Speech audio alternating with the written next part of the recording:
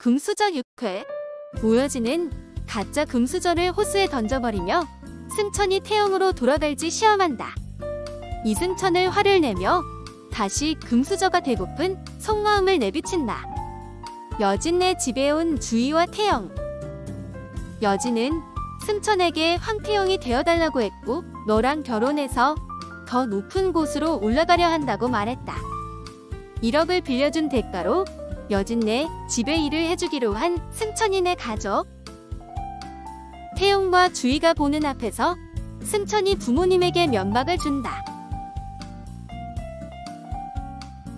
황태용은 승천의 가족에게 연민을 느끼는 모습을 보인다.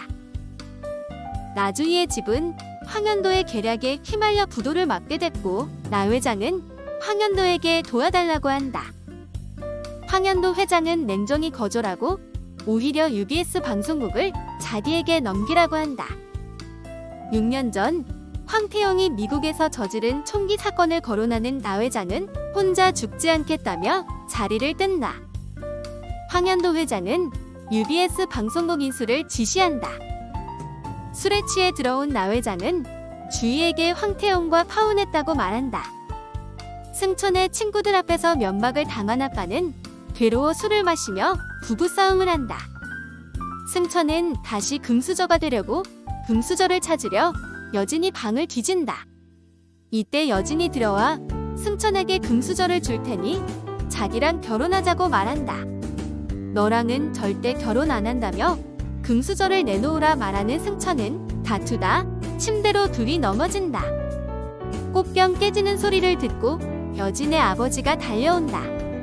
여진은 옷을 갈아입는다며 아버지를 내보내고 승천을 위기를 넘긴다.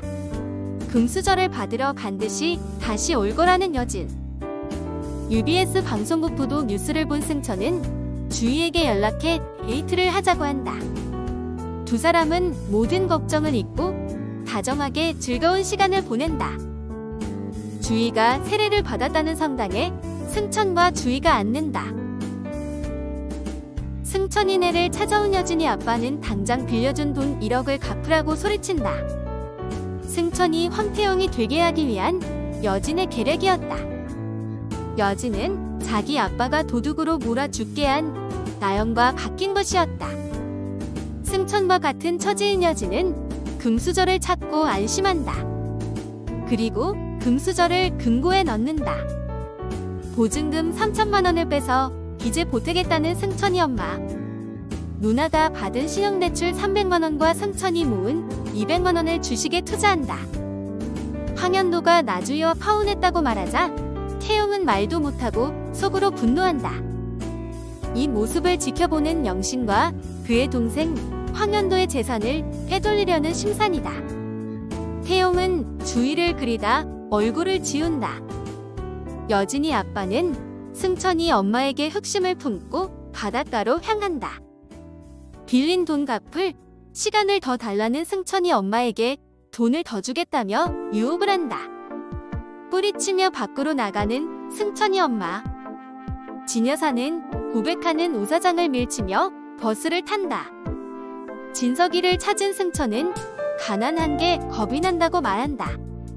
진 여사의 집까지 따라온 우사장 둘의 대화를 듣고 승천은 달려가려 하지만 여진이 말린다.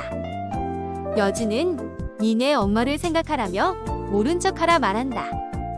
승천이 앞에 금수저를 또 쓰고 싶은 마음이 생겼냐며 할머니가 나타난다.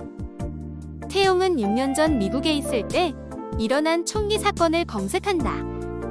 그때 일이 조금씩 기억이 난다며 알고 싶다고 하자 비서는 회장님이 기사를 다 지웠을 거라 말한다. 총기 사건을 알고 있는 사람이 한 명 있다며 영신이라 말한다. 태용이 영신의 방에서 그 기사를 찾고 있을 때 영신이 나타난다. 비서가 태용의 컨디션이 안 좋다고 하자 수상함을 느낀 영신은 방으로 들어간다. 영신에게 전화가 와서 위기를 넘긴 태용은 기사를 본다. 빚을 갚기 위해 주식에 투자한 승천은 큰 손해를 본다. 집도 이사가는 상황. 이제 승천은 금수저를 택할 수밖에 없는 상황이다. 금수저를 달라고 찾아온 승천에게 우여진은 갖고 싶으면 무릎을 꿇으라고 말한다. 나주인은 주식을 오빠에 넘겼지만 오빠는 영신의 동생에게 주식을 헐값에 양도한다. 오빠에게 주식을 양도했다는 사실을 알고 아빠가 주희에게 화를 내자 주희는 아빠가 구속될까봐 그랬다며 뛰쳐나간다. 6년 전 총기 사건을 알기 위해 나 회장을 찾은 황태영. 나 회장은 황태영이 총을 쏴 학생이 죽었고 그 기사를 자기가 덮어줬다고 말한다. 더 자세한 얘기를 듣고 충격을 받은 태영은 뛰쳐나간다. 텅빈 성당에 나란히